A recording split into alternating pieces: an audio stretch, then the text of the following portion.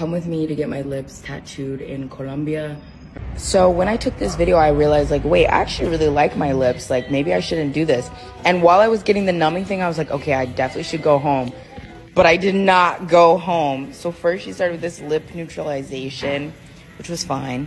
I just look like a little hot Cheeto kid. And then I tell her I just want pink, and she's like, Well, pink, it's gonna be too subtle, like too natural. Like you should have this bright ruby red. And I'm like, mm, I don't know about that. And she's like, Trust me, it's gonna fade to pink. Trust me.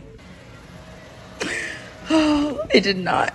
So it was also excruciatingly painful. Like I was swelling like crazy. It felt so raw and numb and I looked really bad. oh my god. Uh, jump scare. oh Honestly, if you were thinking about getting this done, just buy lipstick. It was so painful. I had to beg her to stop and then I just looked the worst out of anyone I've ever seen get this. They were waiting for my Uber. They were like, leave us five star review.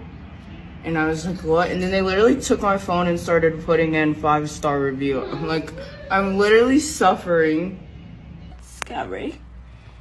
It's a bit intense. But this means that it'll actually look better. Like, when you get it done, if it looks kind of like bleh, when you're delusional, this means like later it's gonna look so good. I was wrong. My lips did not turn into a pretty color, but I did go to the club that same night just to terrify the hoes.